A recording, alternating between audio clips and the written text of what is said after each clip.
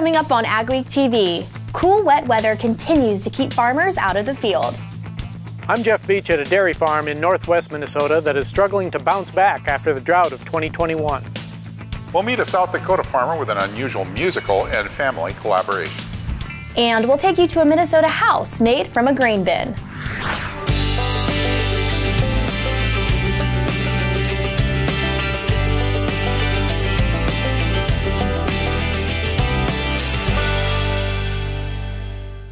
Welcome to Ag Week TV. I'm Emily Beal.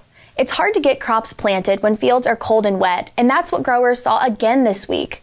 The latest USDA crop progress report shows neither North Dakota or Minnesota had more than two days suitable for field work over the past week.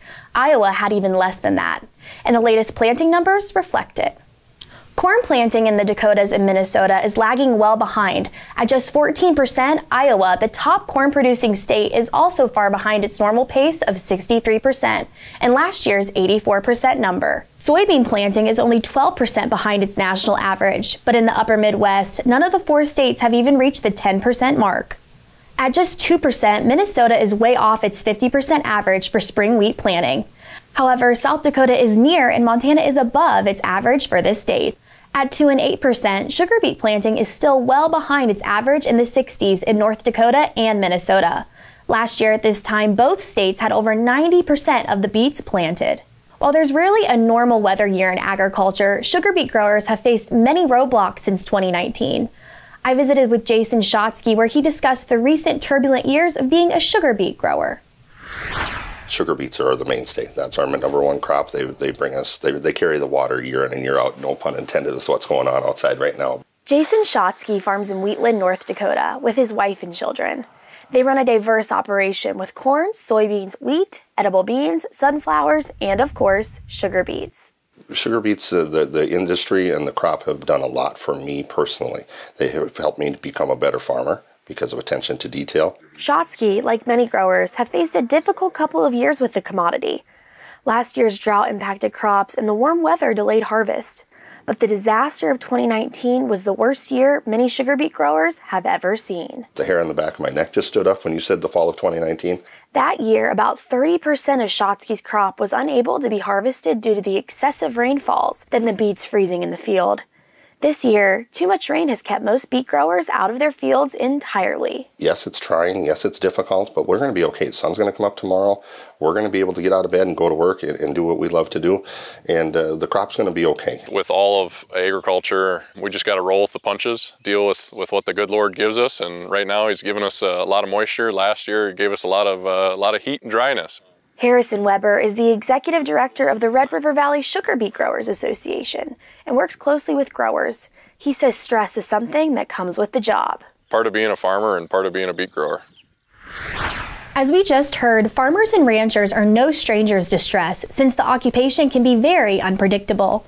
With recent spring weather events adding to that stress, it's important for producers to not let it take over and to search out mental health resources when needed if you had diabetes, you wouldn't tell your pancreas to just toughen up. You'd go get some help. And so um, it's not weak. It's the right thing to do if you need it. So take care of yourselves. A farming operation has many moving parts, but a farmer's mental health isn't one that should be overlooked. Health is probably the most important resource that you have uh, on your farm or ranch operation. There's a lot of different assets that we assign to a farm or ranch operation, like land and livestock, seed, but actually your health is the most important resource that you depend on. The North Dakota State Department of Agriculture currently has a grant from the USDA that's focused on farm and ranch stress assistance. The University of Minnesota Crookston had a high profile graduation speaker this year, U.S. Ag Secretary Tom Vilsack. Vilsack was the keynote speaker at the school's commencement ceremony on May 7th. The Ag Secretary called this graduating class, which made it through a pandemic to get their degrees, a class of resiliency. You have also persevered during a unique and I would say an historically disruptive time in our world. So I think each of you has a specific reason to be proud and confident in your ability to handle whatever life may have in store for you from this point on. Vilsack said one of the ways graduates can contribute to a more resilient America is to consider working for the U.S. Department of Agriculture. More than half of the agency's workforce is at or near retirement, and only 7% is under the age of 35. 29 agencies, eight different mission areas. You can have your pick of work that can make America more resilient. U of M Crookston was launched as an agricultural high school in 1906. After years of struggle, the 2021 drought was the last straw for a west central Minnesota dairy farmer. Vernon Quall sold off most of his herd this spring, but as Jeff Beach reports, Quall is determined to build back up. Quall Dairy is hoping to build its herd back up with heifers that will be calving in September. I always knew I wanted to milk cows. used to be able to just work hard and you made money. Mm-hmm. It's not that way anymore. The Quall family has had this dairy farm since 1981. Vernon Quall says they've been struggling for a while. A few years ago, they were a million dollars in debt before filing for bankruptcy in 2016. Well, my dad's 77 and he's been complaining the last two years about selling the cows, sell the cows. Last summer after the, or during the drought, I knew this ain't gonna be good. Feed's gonna get real expensive. While they had managed to pay off about half their debt before the cow sale, the 2021 drought drastically cut into their feed supply, and rising prices for feed made it hard to maintain the 300 cow herd. And he says many other producers are struggling too. Corn's getting higher and higher every day. And if you're buying corn, you're paying at least 75 cents a bushel more than what farmers are selling it for. After the sell-off of the herd, Quall Dairy is using this time to make repairs around the farm. Trying to make a decent operation. The sale allowed them to nearly pay off the rest of their debt, but it's not the end of Quall Dairy. Vernon kept back about 60 of the lowest producing cows and is still milking them. And he has 65 bred heifers in a freestall barn, ready to start calving in September. I want to keep going at it. So it was my dream. In Underwood, Minnesota, this is Jeff Beach for Ag Week. The dairy has earned many honors over the years, including the 2010 Premier Dairy Award for West Ottertail County. Coming up on Ag Week TV, we'll meet a female farmer who's a concert pianist and much, much more.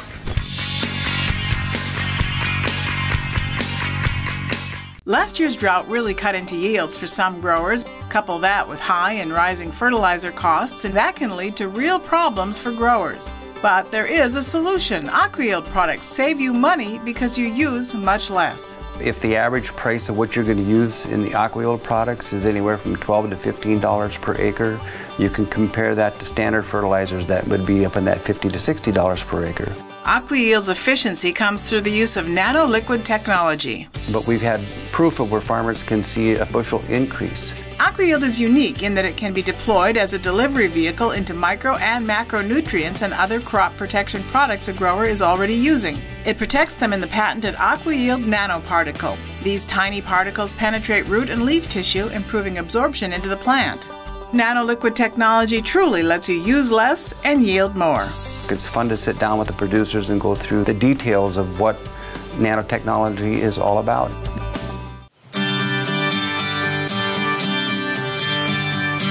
At Advanced Grain Handling Systems, we're your full service grain dryer and bin project partner. We'll handle everything from start to finish. These guys are all in one. That was one of the big draws. They were the general, they took care of the electrical, they took care of the cement, took care of everything. Whether your next project is big or small, let our team help with it all. Visit advancedgrainhandling.com. You can get the field results you want in varying conditions with the flexibility of the Summers VRT Renegade. Featuring on the fly blade angle adjustment from 0 to 19 degrees. And if you want the simplicity of a super coulter with the ability to move a little dirt, you'll love the all new Summers Super Coulter Samurai. Go to summersmfg.com or visit your local dealer to learn more about North America's broadest line of tillage equipment and other products from North Dakota based Summers Manufacturing. All right, here's the free gift I got for opening up a checking account. Let's see what I got. Okay, guys, so I got this portable DVD player. Yeah, I'm not sure why my bank would give me a tiny waffle maker. So it's a tumbler, but it doesn't fit in any of my cup holders. I wasn't even sure they still made these. Is it for kids? Is this for kids? Don't fall for the free gift. Find a bank that cares about what you really need. Cornerstone Bank. Multitasking and cooperation are common on the farm. But Mikkel Pates found a woman who takes that to a whole new level. She's a triple threat with triplets. It's our Ag Week cover story. I would always have considered myself a pianist first. Ann Waltner came back from a concert pianist career to join the family farm, but she also became a wife, mother of triplets, and a cancer survivor. I never understood that I had to be a certain thing. Within a strong Mennonite ag and arts heritage, Waltner majored in biology and piano performance in college. That led her into a stint teaching in India. It was a, an international school in, on the side of a mountain. She went on to get master's and doctorate degrees in piano performance and taught at colleges in the East for several years, but she was still looking for her path in life. When she was in college, she'd occasionally help her parents back on the farm, and 10 years later, from 2010 to 2015, she rented soybean and corn acres from them on her own. And in 2016, she came home to be a full partner with them in the 1,600 acre corn and soybean farm. Keith and Sharon Waltner are happy and is coming alongside. She's intuitive, she was good with machinery, she was good with livestock. Waltner says she's comfortable with the technology side of farming, but still counts on her dad to help fix equipment. When the chips are down and something is broken and you've got to find a way to fix it efficiently, that's what I'm nervous about. In addition to a major career change, there have also been other changes in Waltner's life. In 2015, she married Rolf Olson, a college music professor, not a farmer. In 2017, she gave birth to triplet girls. Some days I wake up and it's like, wow. Two years later, she was diagnosed with leukemia, but she is doing well with treatment. And if that's not enough, she just landed a post as principal keyboard player for the Sioux Falls Symphony, where Rolf is already in the trumpet section. So, in a career like farming that always takes a lot of collaboration, this musical collaborator is taking things to a new level. I love what I do. I'm working with all my favorite people. I mean, who gets to do that? For Ag Week, this is Mikkel Pates at Parker, South Dakota. You can read much more on our cover story in the next Ag Week magazine or at agweek.com. A couple Minnesota farmers and fiber artists have formed a partnership to help them expand their flocks and revitalize the American wool industry. Teresa Benz and Alejandra Sanchez produce wool for spinners. They also teach classes. When they saw how much interest there was in what they do, the duo raised enough money in a Kickstarter campaign to expand their mill. The two are now co owners of Norn Sisters Woolen Mill in southeastern Minnesota.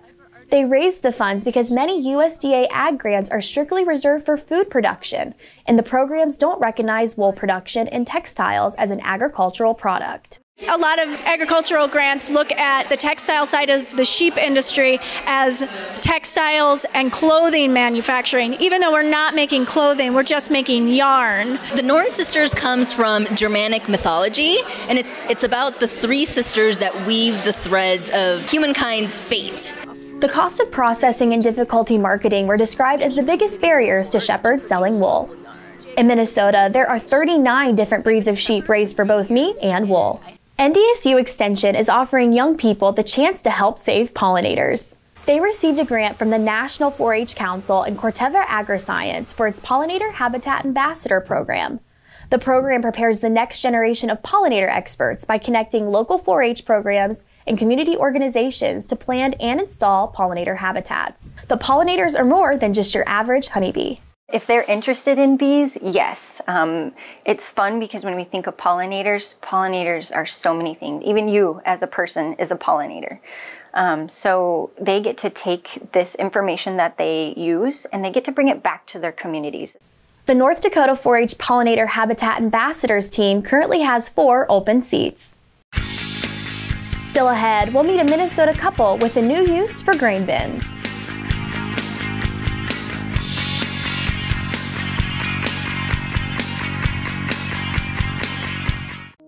Your legacy is not only where you came from, but more importantly, it's where you're headed.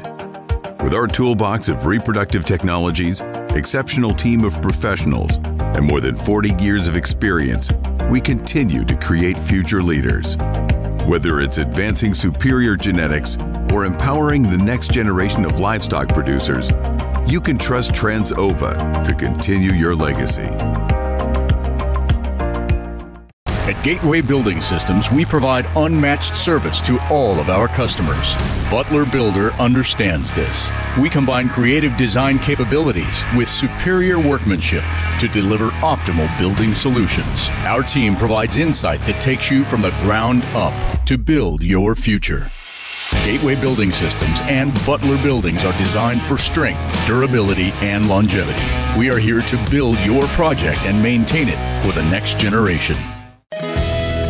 For over 130 years, Farmers Mutual of Nebraska has been providing protection from the unexpected. Farmers and ranchers choose Farmers Mutual insurance coverage for their industry experience, prompt claim service, and unmatched financial strength. Experience an insurance plan that's customized for your operation.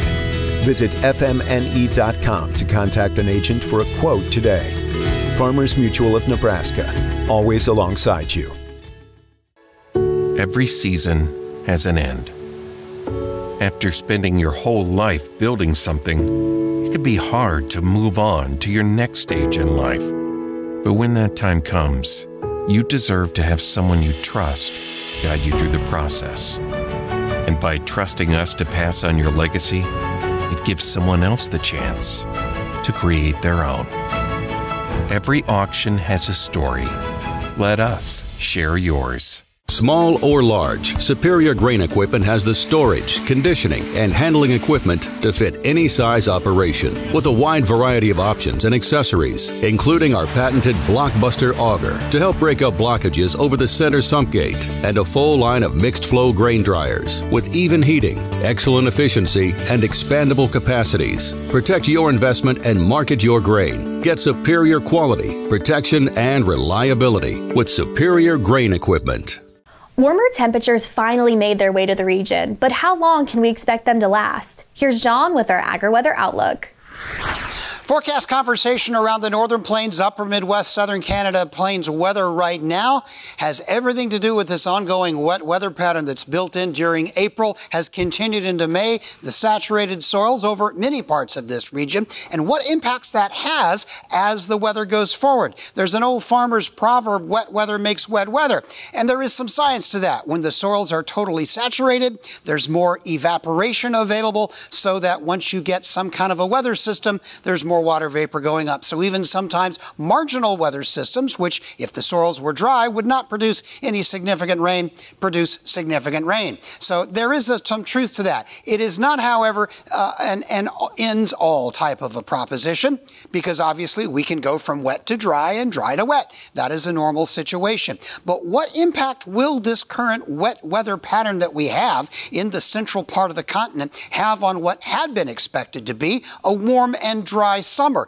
across this same part of the country. Well, let's look at the pattern right now. For most of the winter, the jet was coming out of the northwest, and that was delivering well, a lot of blizzards, but mostly not a lot of snow for this area. There was above average snowfall kind of in this region and very much below average snowfall in this region with the jet coming right out of the west. Well, over the last few weeks, we've seen that change, and we're starting to see a wavier pattern with weather systems coming out of the southwest. This weekend, there's one over the northern plains moving out. That'll draw down a little bit of cool air, shunt the warm weather southward at least temporarily, but it will likely build back with the next ridge. And here's the way things have been going. We get a weather pattern that passes through, we get a few days where we get a little springtime back, and then the next trough begins to build in. And that one is expected to build in again toward the end of this week and this weekend with yet another chance for significant precipitation into some part of the northern plains upper Midwest. I won't yet call exactly where it will be, but somewhere in this region.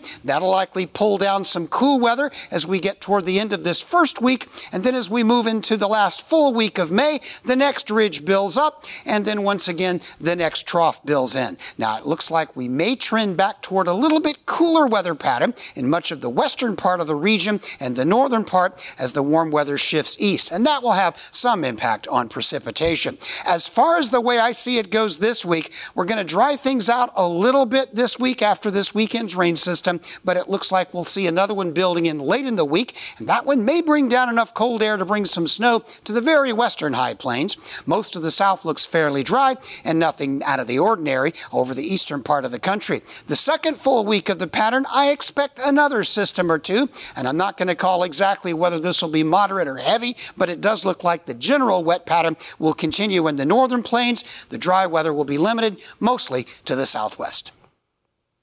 Saline can leave parts of a field unproductive, but now there's a solution. An Arizona company is taking technology developed for golf courses and using it to take salts out of the soil.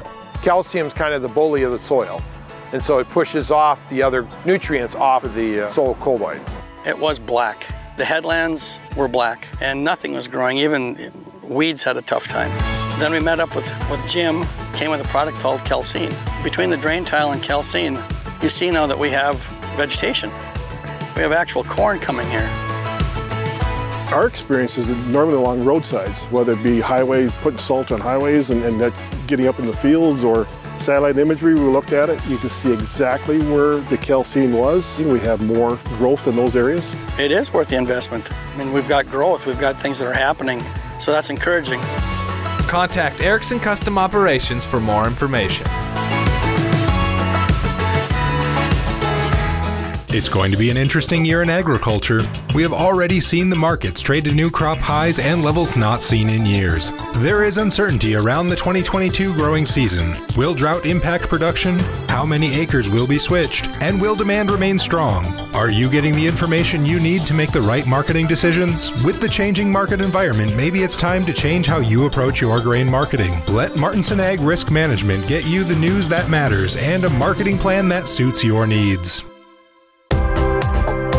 auctionblock.com. First with online equipment auctions in 1999. First in worldwide registered users. Auctionblock.com. Online farm, construction, and transportation equipment auctions every Wednesday. Sell with the leader. Call Auction Block today, 218 483 7880, or visit us online at auctionblock.com. Dynaflow is the ultimate high volume water management pump. Whether you're experiencing flooding, emptying sloughs, transferring ponds, or working on irrigation, the Dynaflow pump works in as little as 18 inches of water and is designed to move 3,000 gallons per minute. The Dynaflow lift pump is the perfect upgrade to your drain tile system. Using line shaft turbine pump technology, these pumps are made to last while operating efficiently. Dynaflow drain tile pumps can move up to 1,500 gallons per minute up to 3,400 feet away. Grain bins, silos, elevators, and barns dot the prairies. They each have an important role in agriculture, but some are finding new uses. In this week's story from the Ag Week Vault, Rose Dunn visited a Minnesota couple who call a grain bin home.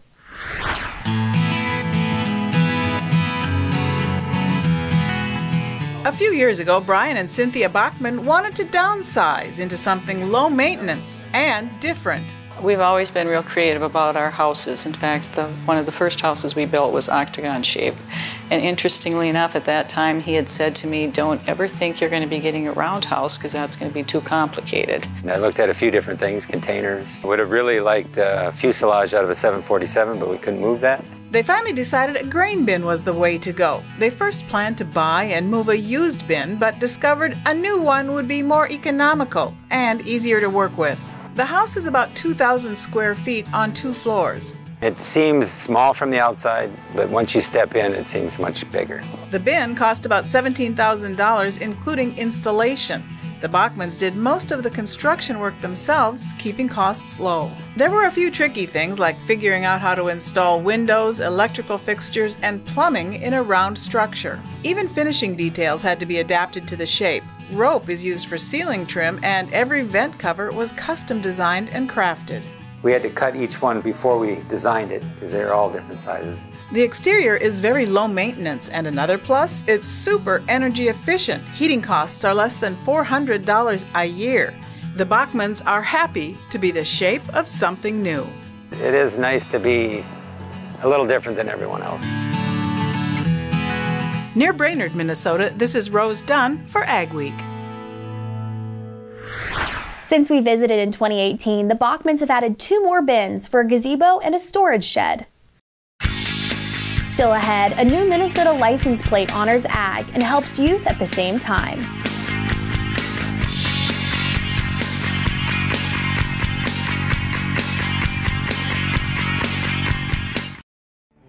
Since the inception of Vaderstad, the spirit of innovation has led the company. We push the limits, providing innovative and reliable seeding and tillage solutions that simplify everyday life for farmers. We continue to reimagine the capabilities and technology behind farm machinery, providing customers with a perfect emergence while maximizing their yields. We look forward to growing together. The team at North Star Ag is committed to quality and committed to you. We're not just a full service dealer, we're farmers too, so we know you need the best machinery and services that'll keep you going all season long. We have the largest equipment inventory in the upper Midwest with a well equipped parts and service department. So whether you need machinery tomorrow or parts today, stop in and experience what North Star Ag can offer on our website at northstar egg.com or give us a call at 701 361 4790. Don't miss out on the equipment you'll need next season. Titan Machinery, your local Case IH dealer, has early order discounts on its full line of powerful, efficient, new Case IH equipment, including tractors, combines, and self propelled sprayers. Get a great deal and ensure that you have the latest in productivity and technology.